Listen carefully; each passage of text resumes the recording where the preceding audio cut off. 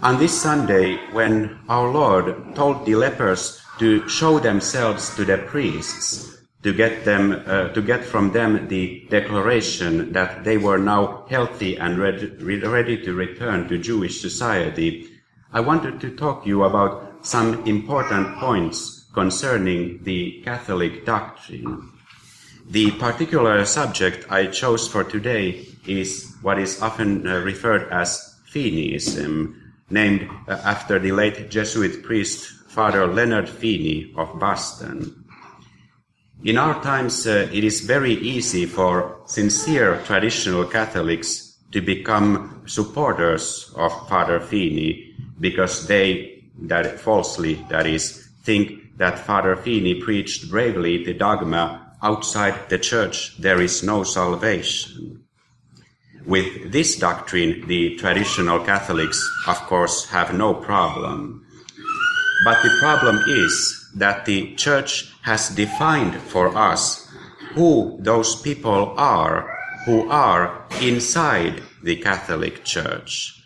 And to this question, Father Feeney gave the wrong answer when he wrote, It is now baptism of water or damnation. If you do not desire that water, you cannot be justified, and if you do not get it, you cannot be saved. The Catholic doctrine of the baptism of blood and desire would be the subject of another sermon. Today I merely wish to point out why this movement is so re- remarkable in American traditionalist movement. Indeed, it has never been deeply rooted in Europe, but resides mostly in USA and there are reasons for this. First of all, the movement called Feeneyism has its beginnings in America. The Catholic Church in 1949 condemned the teachings of Father Feeney with the approval of the Pope. Since Father Feeney was teaching in the Archdiocese of Boston, Cardinal Marchetti Selvaggiani, who was the secretary of the Holy Office, sent this decision to Archbishop Richard Cushing of Boston. Therefore, this decision of the Catholic Church is often referred as the Marchetti Selvaggiani letter. In condemning the Father Feeney's teachings, the Holy Office, which is the highest tribunal of the doctrinal orthodoxy and headed by the Pope himself, said that the Church has always and never will cease to preach the doctrine of outside the church there is no salvation. On a side note, this is exactly what the Church of Vatican II did when it preached that the other churches have not been excluded from salvation and that God uses them as means of salvation. The Vatican II Church has ceased to preach this precious doctrine outside the church there is no salvation. So this church obviously cannot be the church which our Lord founded. The Holy Office further said in its decision that the only authority which can define who are members of the Catholic Church is the Church herself.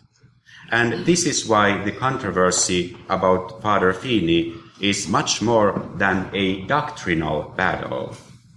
The teaching office in the church is not given to private individuals.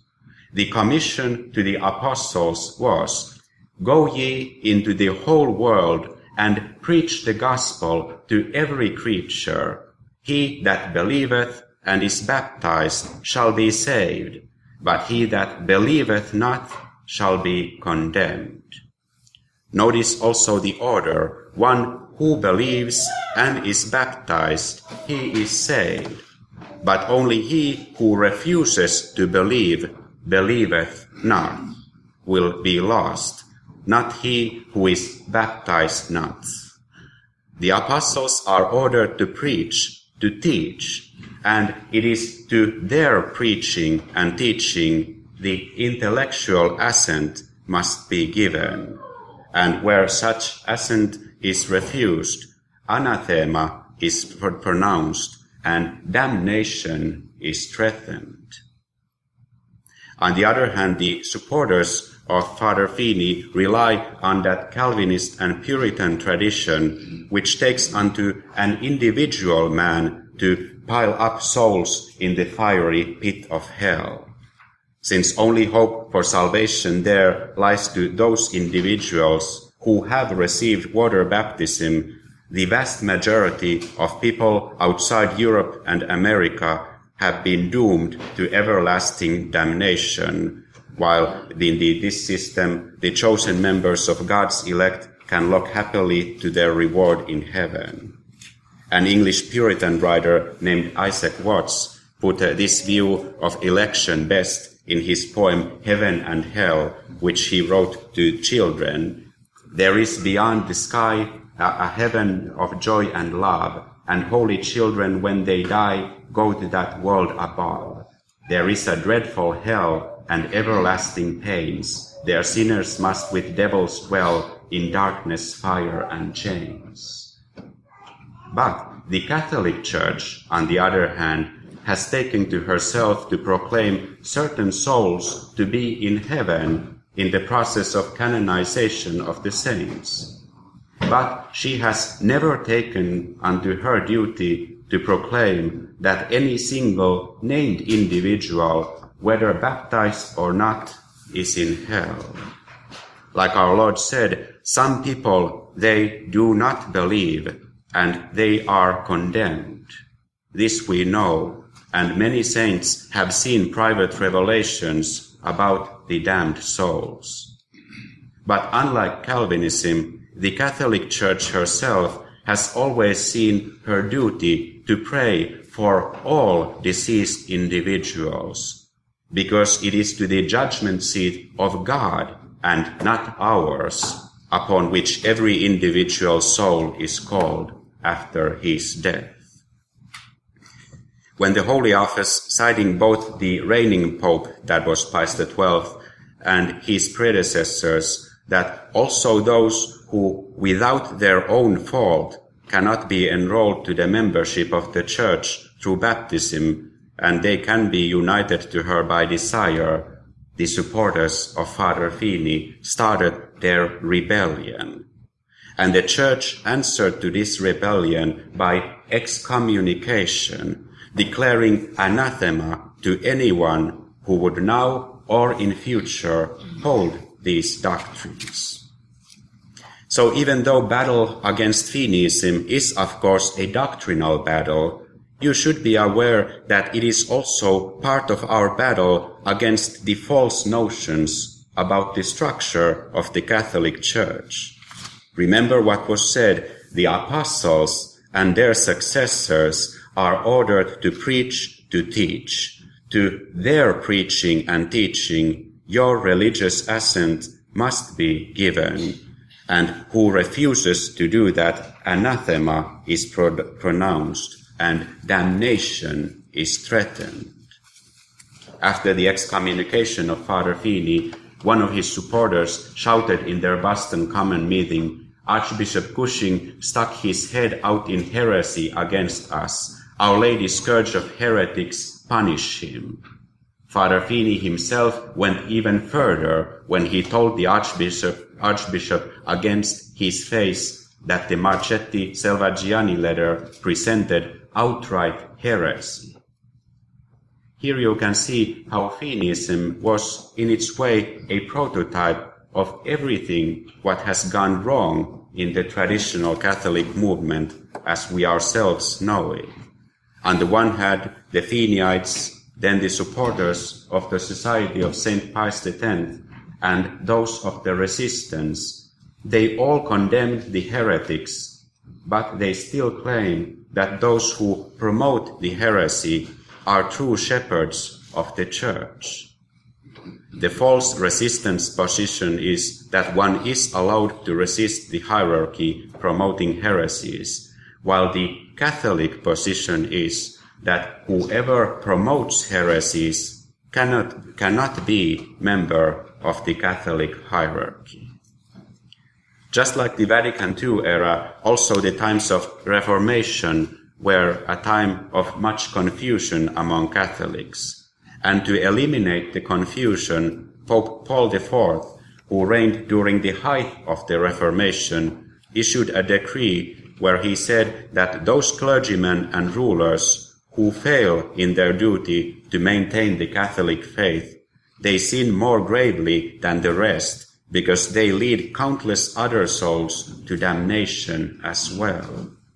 Therefore, the Pope enacted, determined, decreed, and defined, which means he said this infallibly, that if any Pope has deviated from the Catholic faith or fallen into some heresy, his promotion to the papacy is invalid, even if it would be uncontested and he would be elected by all the cardinals. And he defined also that it would, it would not be able for this false pope to acquire validity through the acceptance of the office, and that his promotion would not be held as partially legitimate in any way. So for a Catholic, it is impossible to regard anyone who promotes heresy as a true, legitimate shepherd, the successor of the apostles. This is the center of the whole una cum controversy, which really is no controversy at all, but the test of where the true mass of the true church nowadays is said. Never let anyone to make you believe that this is only an issue of praying for the Pope and for his conversion. One is allowed to pray for Bergoglio and for his conversion, as one can pray for any other person in the world. But in the holy sacrifice of the Mass, you do not pray for the Pope, you pray together with the Pope.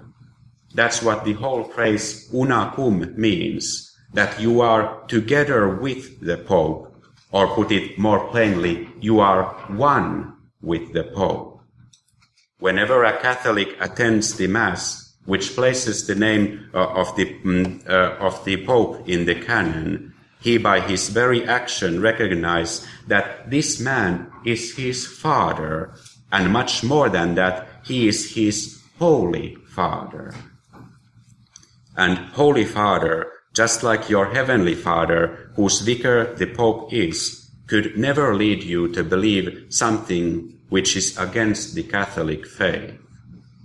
Before I became a seminarian, I once visited a community which says a traditional Mass but holds the Feeneyite doctrine and is in communion with the Vatican II Church. One of the members of this community told me how he and his companions go out to the streets and preach to the people. And when the people, hearing their message, point out to him, and perfectly correctly in my view, that, but this isn't what your Pope is teaching. He said that to this he just has to answer that my Pope is wrong. Can you imagine a Catholic saying that? You, you have, who have been served by our Saint Gertrude the Great clergy for years, could you really think that a person who answers that my Pope is wrong is a Catholic? There is no such thing as a heretic Pope because the words heresy and papacy are mutually exclusive. One could just as well say a Lutheran Pope or an atheist Pope or a Muslim pope. It makes no sense. And this is why Feeneyism is wrong in such a wicked way, not only because it is heresy, which would be subject of another sermon, but mainly because it is a rebellion, a rebellion against the author, authority established by Christ. One can include under this rebellion also the other branches of the traditionalist movement who promote this false rebellion, the Society of St. Pius X and the Resistance, for example. It is a movement of picking and choosing, giving praises and obedience to the hierarchy when one hears what one likes and degrading and mocking it when one hears things which are displeasing. It is, in practice at least, if not in words, the rejection of the hierarchy established by Christ himself, and in this way it is comparable to a treason. You might remember from history that a man named Brutus, who was a trusted friend of Caesar, the master of Rome, eventually formed a conspiracy which assassinated this popular leader of Rome. In Shakespeare's play Julius Caesar, after killing his master, Brutus enters the forum to face the citizens and says, As Caesar loved me, I weep for him. As he was fortunate, I rejoice at it. As he was valiant, I honor him. But as he was ambitious, I slew him. It was a rotten defense to Brutus, and it is a rotten defense for a Catholic. Your duty, dear faithful, in regard to the church is identical with that which you owe to your heavenly Father, uh, and uh, and also uh, in identical with that which you owe to your earthly father and your earthly mother. You must honor them as you honor the church by never showing them any disrespect Neither should you listen to those who, sp- who speak ill of the church and rep- her representatives, the clergy, and you should try to put a stop to these kind of conversations as far as it is in your power to do so. After all, would you listen with indifference if your earthly father or your earthly mother were slandered, ridiculed, dragged, to, so to speak, through the mud? If you would act like this, you would not deserve the name of son or daughter. No matter what kind of a Catholic one claims to be, a liberal, a conservative, a traditional, one must recognize that an image where faithful sheep are in search of the lost shepherd is a very grim image and totally alien to the words of Jesus to Saint Peter, the first pope, that thou art Peter, and upon this rock I will build my church, and the gates of hell shall not prevail against it. Whatsoever thou shalt bind upon earth, it shall be bound also in the heavens, and whatsoever thou shalt loose in earth, it shall be loosed also in the heavens. How could a denial of obedience to such high office as papacy be anything but a treason. St. John Chrysostom once wrote about those who recognize the priests but refuse their submission. Truly, it is hypocrisy to kiss the hand of the priest in public so that all may see it, run to his door when he need baptism, and then afterwards, at home or in the street, heap insults upon priests and allow others to speak evil of those who are the authors and ministers of so much good. If he is such an evil father, how is it that you find him worthy of belief and the minister of such great sacraments? If he seems in your eyes a true minister and worthy of belief, how is it that you allow others to criticize him do not stop their mouths and do not detest the, those lips which speak such evil, so that you may receive a great reward from God. We, dear faithful, like the Feeneyites, we are in rebellion against the hierarchy, but we are in rebellion against false hierarchy. To this, these all controversies among the traditionalist movement culminate is one in rebellion against hierarchy, or is one in rebellion against false hierarchy? And Feeneyism, just like this other society and resistant position, is non-Catholic because it is rebellion against the hierarchy which they themselves say is legitimate Catholic hierarchy. As he was valiant, I honor him but as he was ambitious, I slew him. Never think this is a trivial matter. It is a matter concerning your own salvation. The aforesaid Marchetti Selvaggiani letter, which I've heard the Feeneyites mockingly referred as the macaroni spaghetti letter, talks these grave words to all Catholics, which are no laughing matter. Therefore, no one will be saved who, knowing the church to have been divinely established by Christ, nevertheless refuses to submit to the church or withholds obedience from the Roman pontiff, the vicar of Christ on earth. For a Catholic, there is never a question of disobeying the true shepherds of the church, just like uh, for a citizen could never betray his country or son or daughter would disobey his parents. Our Lord himself said, if you love me, keep my commandments. The only way to be a traditional Catholic is to give resistance to false hierarchy, the one which is not Catholic. A true Catholic can never oppose a Catholic hierarchy, but it is to the enemies of the church uh, of whom our Lord has uh, said that he will eventually triumph and over these enemies he will gain a great victory. God bless you. In the name of the Father and of the Son and of the Holy Ghost.